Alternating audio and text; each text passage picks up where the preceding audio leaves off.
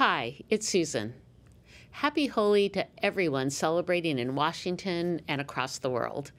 I want to thank Northwest Share President Harry Terhanian and Artistic Director Lutha Sambamurthy for bringing us all together today. I also want to thank all the sponsors, volunteers, and performers for their part in organizing this event. Spring is a time of new beginnings. Trees start to bud, flowers bloom, and new life sprouts up all around us.